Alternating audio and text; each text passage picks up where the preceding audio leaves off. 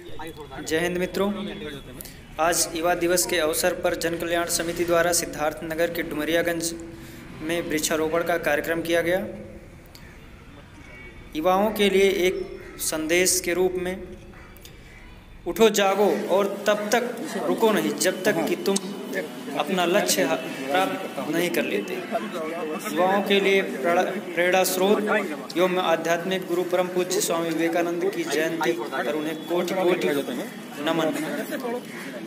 जैसा कि आप सभी जानते हैं कि वृक्ष एक अनमोल खजाना है, जो जिससे कि जीवन मिलता है, जिससे प्राणदायक वायु मिलते हैं। इनका संरक्षण करें और वृक्षारोपण करें। ज़्यादा से ज़्यादा लाइक करें सब्सक्राइब करें शेयर करें। जय हिंद, जय भारत, वंदे मातरम।